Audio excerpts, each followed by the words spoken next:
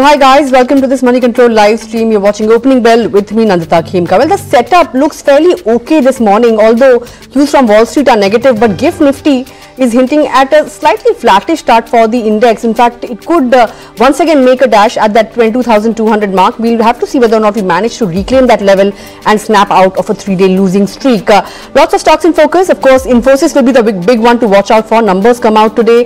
Vodafone Idea will be in focus as the, uh, you know, 18,000 crore rupee FPO has opened up for subscription. Of course, we'll be talking about all these stocks and a lot more.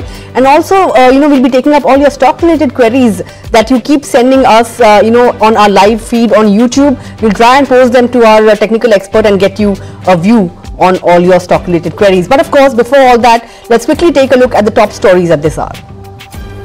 Wall Street skids for the fourth straight session after Fed Chairman Jerome Powell signals a delay in rate cut following a series of surprisingly high inflation data.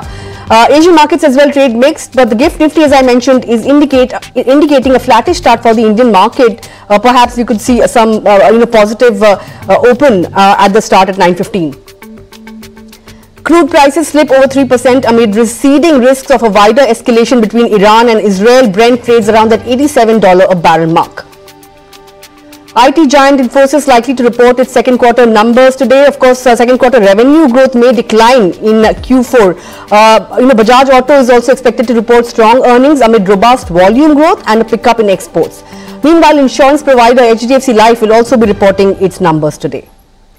And Vodafone Idea's 18,000 crore rupee FPO opens for subscription. The telco raises over 5,000 crore rupees via the anchor book. Investors include marquee names like GQG, UBS, Fidelity and Motilal Oswal among others. Well, just about eight minutes to go for the markets to open. Let's quickly take a look at the cues, uh, you know, for trade this morning. The Nifty spot, of course, shut shop below that 22,150 mark, uh, down, uh, you know, 120 points. So it was a third day of triple digit cut uh, uh, on Tuesday. The Sensex also shaved off somewhere around 450 points or thereabouts. Uh, you know, the Nifty Bank, you know, snapped out of a six day gaining streak. it ended below that 47,500 mark. Uh, you know, uh, lots of cues to watch out for today. Let's quickly jump uh, to Infosys then because it will be reporting its numbers today and you know, uh, it could see a revenue decline for a second straight quarter. So what are the five key things to watch out for from Infosys's, uh, you know, fourth quarter numbers? Let's get in, get on board my colleague Debangana Ghosh who tracks the numbers. great to have you on the show, Debangana. Of course, after TCS's good performance, you know, on the margin front and record deal wins, can we expect Infosys to hand in a similar report card or do you think uh, that you know, it could lag TCS uh, as it has been doing over the last couple of quarters? Well, the analysts said, uh, firstly, thanks for having me on the show, Nandita. Well, the analysts right now are definitely expecting a tepid performance this quarter, especially if we go by Moneycontrol's estimates itself. Revenue is expected to come in at uh, I mean, revenue is expected to come in uh, uh, in negative uh, sequentially. I I mean, rather degrowing or declining by 1.1 percent. Net profit is expected to be flattish, and even EBIT EBIT margins might see some improvement, but that will be on the lines of say 20 basis points sequentially. Uh, if I had to take a look into the other key factors, so Infosys has been uh, uh, slashing its full year revenue growth guidance for the last four quarters. So how it is going to pan out this quarter? What is this, what is the company's outlook for uh, FY25? That is something to be viewed for. Definitely, TCS has kind of uh, said that you know FY25 is expected to be better than uh, FY24. So Infosys definitely will be closely watched for its commentary on that. Uh, the other thing which is interesting in the case of Infosys is that the company hasn't gone for any campus hiring for the last three quarters.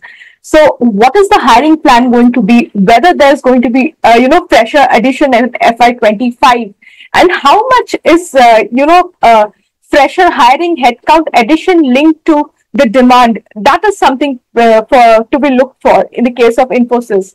Uh, the other key factor is obviously discretionary spending continue to be down. Demand has remained sluggish. So, and Infosys, in the case of Infosys, it only um, shares, it only uh, discloses large deal, uh, large deal TCV. So we'll be seeing what it is going to be this quarter. Uh, the uh, other factor would be, I think, generative AI. Uh, rivals like Accenture and TCS has already called out uh, generative AI deal pipeline and their revenue expectations, but Infosys is yet to do that. Uh, last quarter, CEO Salil Parekh said that uh, you know they are definitely seeing strong traction in the generative AI uh, AI space, but you know it's still too early to share revenue numbers. So uh, that is something uh, I think that will be in focus this time to see whether Infosys will be sharing its uh, at least maybe at least its uh, deal pipeline numbers for generative AI. All right, of course, guidance and uh, you know generative AI revenues as well as you know outlook on hiring. These are only some of the factors that we'll be watching out for from Infosys uh, Q4 numbers. Debangana, thanks a lot for taking out time and joining in and uh, you know taking us through the expectations from Infosys. Thanks. But let me also bring on board uh, Chandan Taparia, who is the Senior Vice President and uh, uh, Head uh, Research, uh, uh, in Head Derivatives and Technical Research at Motilal Oswal. Great to have you on the show, Chandan. Let me first ask you about the IT pack. You know, that will be in focus. Of course, on Tuesday, we saw a sharp cut coming in on the IT pack, right? And Infosys, on a YTD basis, of course, has given negative returns ever since Accenture's guidance cut. We've seen all the IT names come under pressure. But uh, especially for today, are you, uh, you know, would you be trading into this stock? Uh, how should one go about it? Good morning. Thanks for having me. So, the Nifty IT has been uh, witnessing selling pressure. It has been making lower tops, low bottom from last couple of days. Uh, even at the time of market recovery, we have not seen major movement in IT, and in fact, the sector was falling down. So, we believe that bounce could be sold. However, Infosys is already making lower top, lower bottom, uh, from 1732 all the way to 1420 in last almost 9 10 weeks. So i believe that upside is kept. Call writing is clearly visible. 1480 to 1500 is the major hurdle. Stock can dip down to us 1350 and Coforge is other name where we have negative bias. We believe that this stock has seen the built up of short position and can correct to us 5050 to 5000 marks. All right, uh, that's the view on Infosys. But uh, of course, let's talk about the index as well. Uh, you know, GIFT Nifty is hinting at a muted start. Uh, do you think uh, you know uh, the charts are signaling a, you know a snapping out of that three-day losing streak? And do you do you see some green ticks on the Nifty today? already, we have seen a corrective move of around 500 points in the Nifty from 22,775 to 22,080 marks, and we have seen some sort of uh, recovery from lower levels on the last trading session. But the concern is follow-up is now required. It has immediate hurdle at 22 to 22. If manages to hold about 22 to 22, then only we can uh, look for a bounce towards 22 400 to 24 to 450 level. So expecting some bounce, but hold of 22 to 22 is very important for next leg of rally in the index.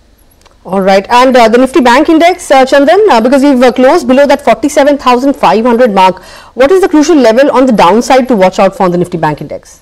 Yeah, so Bank Nifty also witnessed some profit booking decline in last three, four trading session after making a new lifetime high at 49,000 plus zone. So now 47,777 is immediate hurdle. If we manages to hold and uh, below above the same, then only the up move could be there. So as of now, if moves up to 47, 777, then I'll look for a bounce towards 48, 250. While on the downside, major support will be at 47, 250 and 47,000. All right. Uh, let's also talk about Vodafone Idea, right? Uh, the 18,000 crore rupee FPO has opened up for subscription. Of course, the company has raised 5,000 crore rupees via uh, you know, uh, the anchor book, you know, you have names like GQG, Fidelity, UBS, all these uh, you know companies in fact all these investors have come on board. So you know it is indicating indicating strong investor interests. 35% uh, is uh, you know uh, meant for retail book right? Price band is 10 to 11 rupees. The market lot is 1298 and the application amount is 14278 uh, uh, Uh, uh, you know uh, rupees. Uh, but going forward on Vodafone Idea, what is the kind of level you'll be watching out for here? is there a trade? Should one trade into it now? the stock, of course, is in the FNO band for today. Yeah, it's an FNO band, but if you look at the counter, however, it is it has witnessed some selling and consolidative movement in last couple of weeks but multiple supports are visible near 12 marks so i believe that 12 could act as a support and through and study the stock has potential to bounce towards 15.5 to 16 levels. All right, uh, just about I think a uh, few seconds to go for the market open. Uh, you know, uh, let's bring up the countdown as to how much time is left for the market open. I think 20 to 30 seconds to go. Uh, I can see some bit of green tick on the index uh, as we speak. Uh, 20 seconds to go, yes. But of course, you know, pre-open is hinting at a positive start. I could, I can see a 240 point kind of an uptick on the Sensex in, in pre-open trades, and the Nifty is also settled around that 22,200 mark. So, you know, we are poised for recovery. The index, uh, you know, is poised to uh, snap out of a three-day losing streak. Uh, uh you know, just about uh, bringing up the Nifty for you. Markets have opened, of course, above that 22,200 mark, as I mentioned. Uh, you know, uh, Sensex is also up somewhere around 250 points. Uh, 73,200 is where it's at. But uh, uh, the broader market staged a, staged a good performance on Tuesday. They were outperforming the benchmarks. The small cap index was in the green on Tuesday as well. And today as well, there is a fair bit of strength in the broader end of the market. Uh, the mid cap index is up nearly 1%. Let's also see what the small cap index is doing. Uh, it should be up, uh, of course, uh, uh similar to what the mid-cap index is doing, up 8 tenths of a percent. The Nifty Bank Index also showing strength, 47,800 is where it's at, a 330 point bump up on the Nifty Bank Index. The advanced decline ratio is looking particularly strong, 6 is uh, 6 is to 1. That's the advanced decline ratio on the NSE. Even uh, in a declining market, back on Tuesday, the breadth was extremely positive. It was in the ratio 2 is to 1.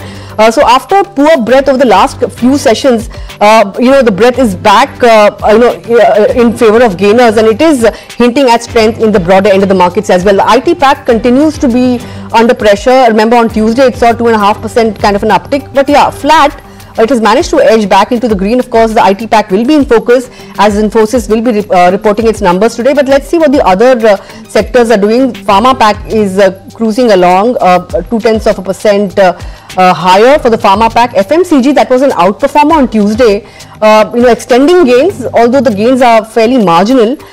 Metals, you know, shining bright among the top sectoral movers today, one and a half percent uptick coming in on the metal pack. So all in all, we have snapped out of a three-day losing streak. As we speak, it's a good 100 point up move on the Nifty and the Sensex also above that 73,200 mark. Uh, quickly take a look at some of the gainers and losers. Power Grid, uh, that's the top Nifty mover, 4%. BPCL, uh, you know, crude prices have eased. crude is below that $90 mark now. $87 is uh, dollars is where the Brent crude is at and BPCL of course reacting to that up 3.5%. HDFC Life ahead of numbers up and about 2.5%. Tata Steel, Adani Ports, Hindalco, Hero Moto, ONGC are some of the other movers. On the losing end, HCL Tech tops uh, uh, you know chart uh, when it comes to uh, the losers. Nestle, uh, Axis Bank, Tech Mahindra, Infosys. So IT pack continues to be under pressure. Uh, you know, out of the top five Nifty losers, three belong to the IT space. But looking at the open Chandan, what you know, what is the kind of trade you'll be taking in the FNO space? So, like uh, we have seen a decent uh, opening in the market. Now it needs to hold about 22 to 22 zone for recovery towards 22 350, 22 400 level. One name which I like is Exide Industry, one of the strongest setup in last couple of days. Continuously making high tops high bottom. We have seen built up of long positions. So momentum could continue in the counter. One can buy with support of 465 we are expecting a up and up move towards 492 levels. We are positive on the selective defense name whether we talk about HAL BDL so HAL is one of the strongest name which we are recommending from last few days. Technically speaking it has given a breakout from its pole and flag pattern which has bullish implications even the open interest headed on the long side. And other defensive defense counter like BDL and other are doing well. So HL uh, maybe the counter which can head towards 3900 one can buy with support of 3680 levels all right those are the stocks on uh, chandan's radar chandan hold that thought we'll come back and talk about specific stocks as well but let's uh, see what a vodafone idea is doing uh, we'll uh, play a small uh, excerpt from a conversation I had with the CEO in just a bit, but I want to pull up the charts of a Vodafone idea. Uh, let's see how it's faring on a day when the FPO has opened 18,000 crore PFPO. That's the largest by an Indian firm. Of course, 4%, almost 3.5% uh, uh, uptick on this stock. Let's listen into this excerpt uh, you know, of an interview that I had with the uh, CEO of Vodafone Idea, Akshay Mundra. We spoke about a whole host of issues, including the, you know, kind of solid response it has got from uh, HNIs, from marquee names like GQG, and of course, uh, uh, you know, domestic mutual funds as well, and also the fact that long-only funds have uh, shown good interest in this FPO. He remains confident of the FPO going through and also talks about securing funding from banks, you know, how, you, know, you know, the industry could be looking at tariff hikes sometime soon. So let's listen in to uh, what he had to say. Uh, let me just also add a bit on the anchor book. You mm -hmm. listed down the foreign uh, portfolio investors name. There's also RWC, which is also a leading investor. Also, they, we have had good participation from Indian mutual funds. So we have HDFC Mutual Fund, Motilal Mutual Fund, Quant Mutual Fund, and also insurance companies like SBI General and ICICI uh, Pru Life. Also, there is participation from HNI, so there's a bit of a diversification. And the good thing about the anchor book is that the allocation to hedge funds uh, is less than 5%, hmm. which augurs well for the market uh, post the closure of the issue. So that is there. Uh, in terms of what happens going forward, this is a book building exercise. We'll have to see what happens. But yes, the anchor book is a good development in that direction. Well, you can catch this full interview at 10 a.m. right here on Moneycontrol. But with that, let me also bring on board uh, uh, Mihir Vora, who is the Chief Investment Officer at Trust Mutual Fund. Great to have you on the show, Mihir. Uh, you know, looking at the uh, structure of the market, right, we've seen some bit of correction uh, taking place. But, uh, you know, yesterday we had the uh, commentary from the US Fed coming in where they have maintained the higher for longer narrative. But do you think investors globally have taken uh, this higher for longer narrative in their stride now. We've seen buying on dips coming in uh, at uh, you know every every time we've seen a correction in the market, which is what is happening today as well. Uh, so, do you think uh, we have taken uh, this whole higher for longer narrative in our stride? good morning. I think we will continue to kind of you know swivel between the two extremes of oh there is too much growth and too much inflation, and then uh, the other extreme of oh growth is coming down very sharply and you know we need to start cutting. So this year is going to be very interesting i must say. Uh, uh, growth actually in the us especially has uh, surprised on the upside uh, and inflation also has surprised on the upside. So uh, growth of course is good for the stock markets but the inflation upside surprise has also resulted in the higher for longer narrative that you mentioned. So we have a situation where you have high growth high inflation and higher for longer kind of a situation, which means that I mean, uh, from the asset prices point of view, I think there is upside because stocks always, uh, you know, depend on growth. Uh, but then valuations may start getting impacted once if, if the you know if the situation veers toward further tightening. So I think uh, interesting year it's going to be. Right. Uh, you know, let's talk about uh, crude prices as well, right? I mean, we've seen uh, prices hit $90 at one point in time. There were concerns that we could retest those 100 levels as well. But now, uh, you know, the situation between Iran and Israel seems to be easing and, you know, concerns of a, full-blown war have receded for now. But OMCs, you know, here on, uh, how do you or how would you uh, look at the OMC space? Because we've had a fuel price cut as well, but OMC shares remain uh, uh, reactive to how crude prices are behaving right today as well. As I mentioned, crude has come down below $90 uh, and uh, you know OMC is clearly uh, outperforming in today's market. So do you do you see more legs to this rally in the OMC pack or do you do you expect sell on rise to kick in here on? The OMCs will always be, you know, a trading uh, kind of a sector. I do not see any structural upsides unless there is privatization, uh, which was the hope a few years ago, but that seems to be, you know, in the background. So unless there is privatization, I don't see consistent value addition by the OMCs. Uh, they will always be subject to government vagaries of, you know, price controls, etc. So this sector will always be a trading bet. Uh, there are situations when they get so cheap in terms of price to book, etc., when everything is negative, marketing margins negative, refining margins at the bottom, and then they become, you know, very cheap on a price to book basis. So that's probably a good trading uh, buy at that time. And then, uh, of course, if it goes to one or above in terms of price to book and you know five or six in terms of PE, then they becomes uh, then they become a sell. So I never consider this sector as a strategic uh, long term hold. Hmm.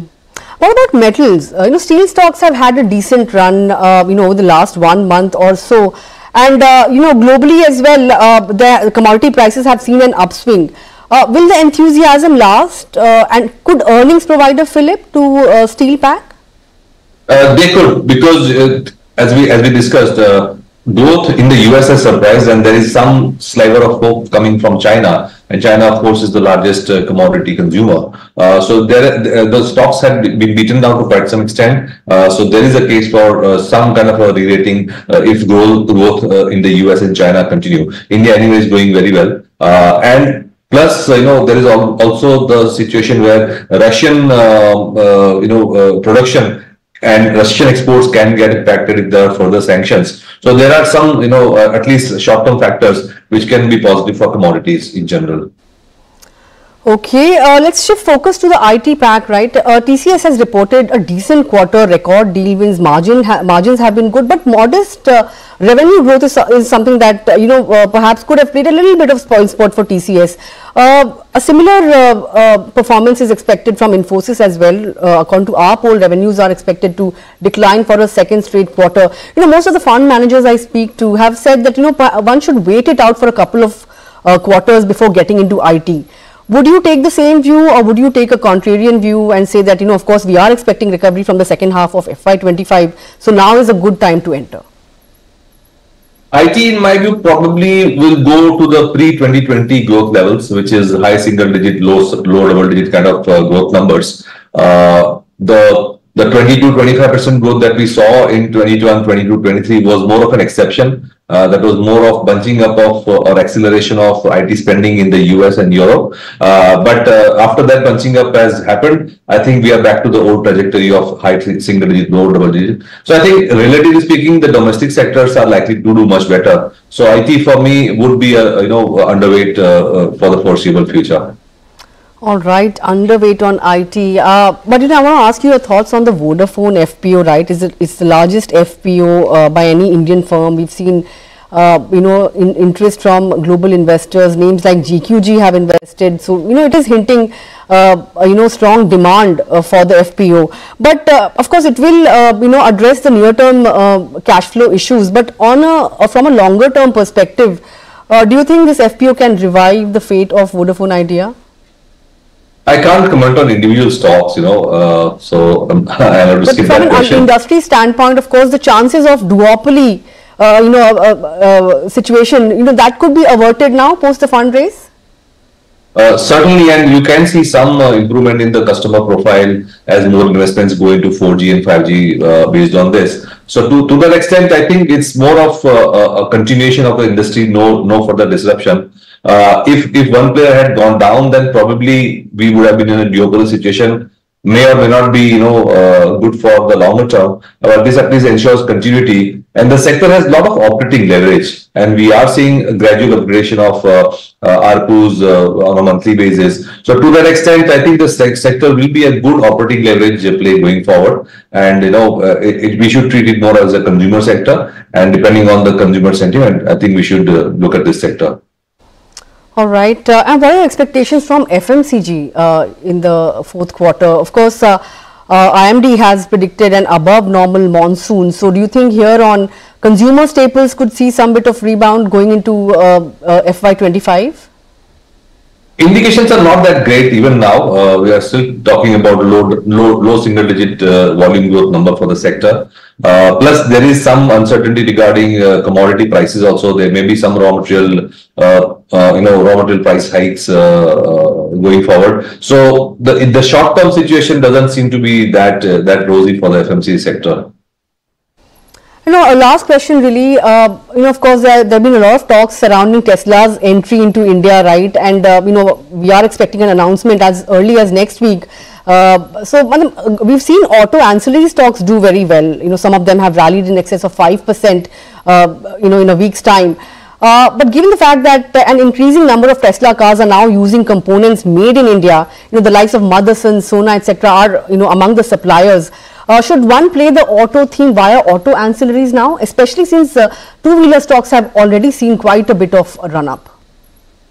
I think we can play both OEMs as well as uh, auto ancillaries. Uh, uh, this is one sector which is in the discretionary space uh, domestically and also into exports on a global basis. And plus, it also forms part of the Make in India and the you know uh, uh, you know China plus one uh, kind of a, strategy. So I think the auto and auto ancillary sectors both have good long term tailwinds behind them. So we should look at all the segments. I would say don't need to be really that picky and choosy.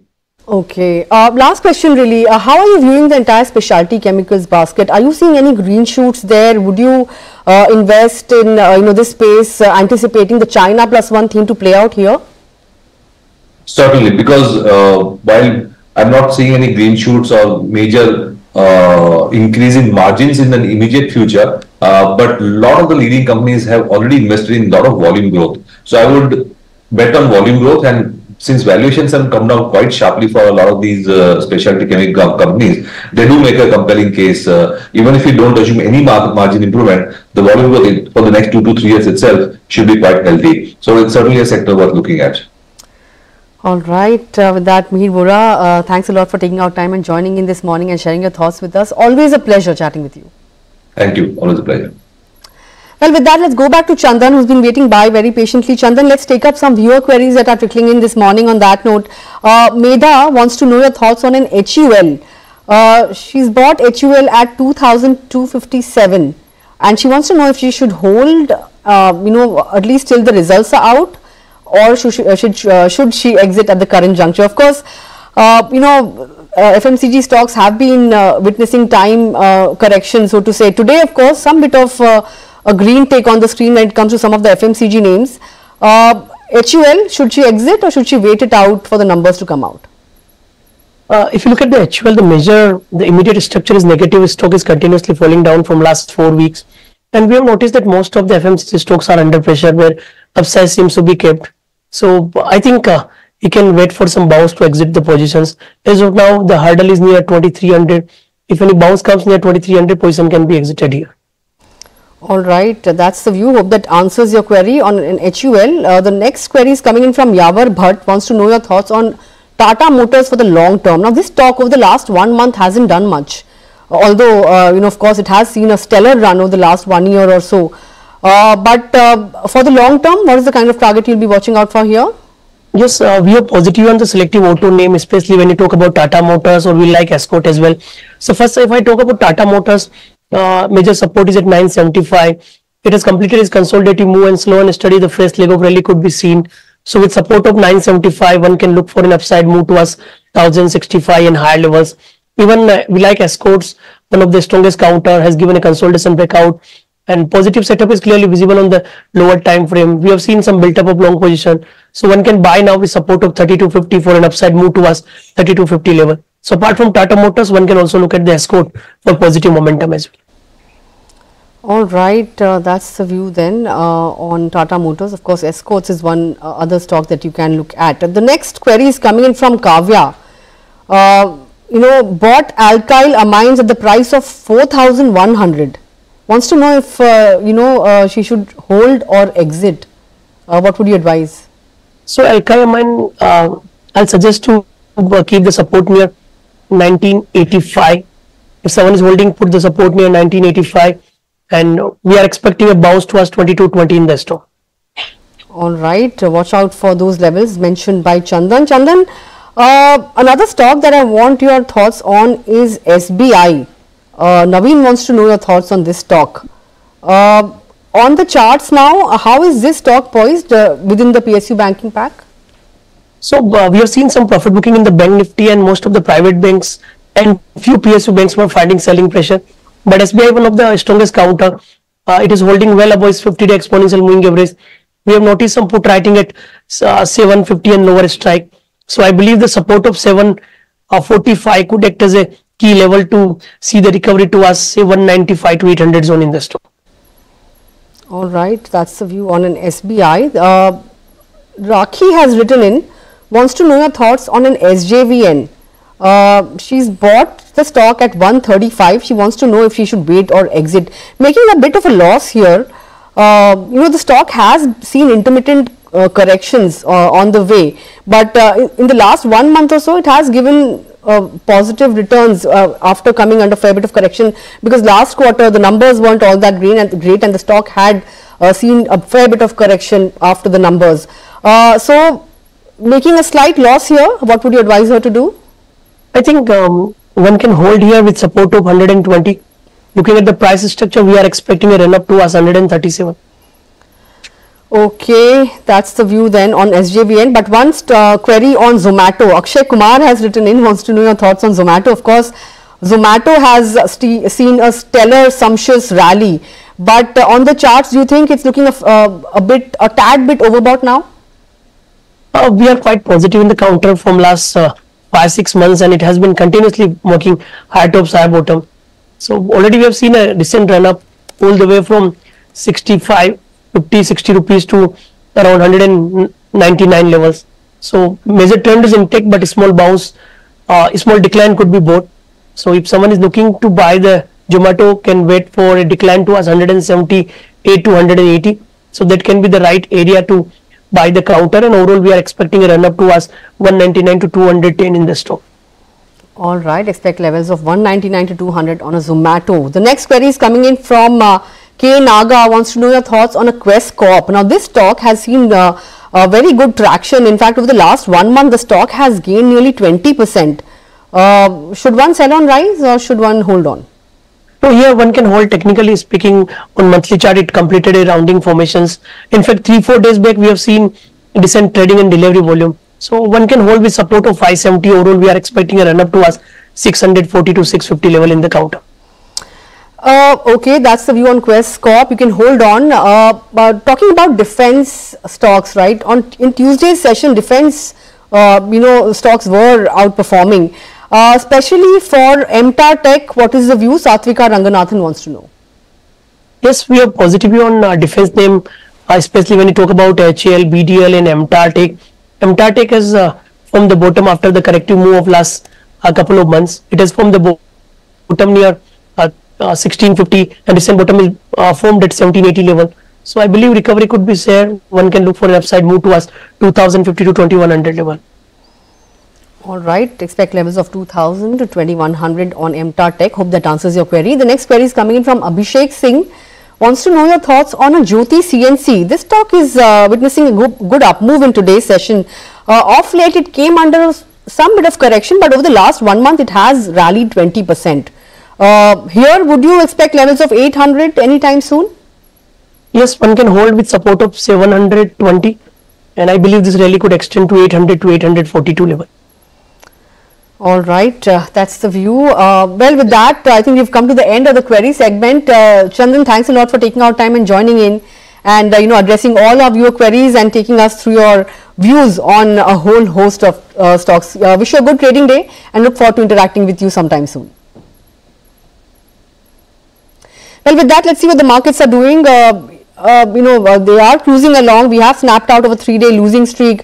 Uh, 22,200 holds uh, on the screen. 73,184 is where the Sensex is at. Uh, even the Bank Nifty has snapped out of Tuesday's losses. It is up somewhere on 200 points or thereabouts. Metals as a pack doing well. BPCL, by the way, is the top Nifty gainer. But with that completely timed out on this edition of Opening Bell, of course, have a good trading day. Thanks a lot for tuning in. But you guys stay tuned uh, to Moneycontrol for all your other news and updates. And of course, don't forget to catch uh, the Vodafone CEO's interview at 10 a.m. right here on Moneycontrol.